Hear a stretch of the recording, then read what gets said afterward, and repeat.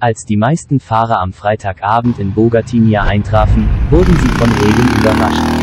So waren die Meinungen geteilt, ob dies nun für das erste europäische Gastspiel des Echt Enduro Cup der Saison positiv oder negativ ist.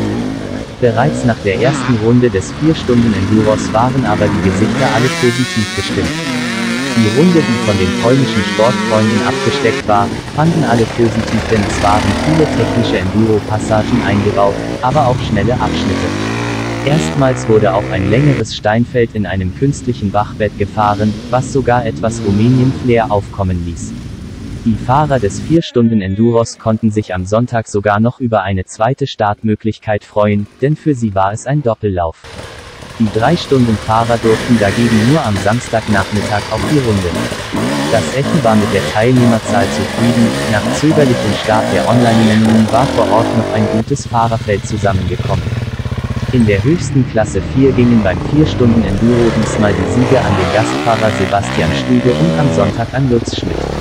Da Schmidt am Samstag Zweiter wurde, konnte er mit der vollen Punktzahl aus dem Nachbarland zurückreisen und damit wohl auch die Tabellenführung übernehmen.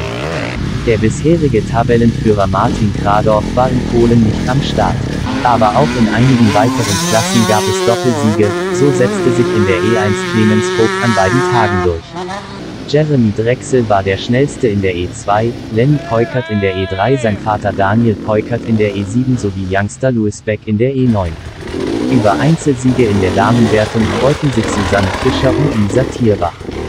Patrick Spinget und Marco Ott bei den Jungen, Senioren und in der Teamwertung Krüger Enders sowie Schilbach Wenzel. Die Drei-Stunden-Fahrer durften sich am Samstagnachmittag auf der gleichen Strecke austoben.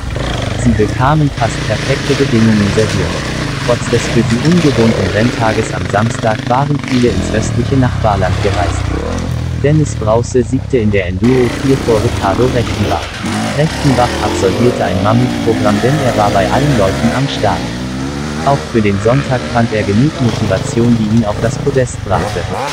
Der Echt Enduro Cup geht nun in die Sommerpause.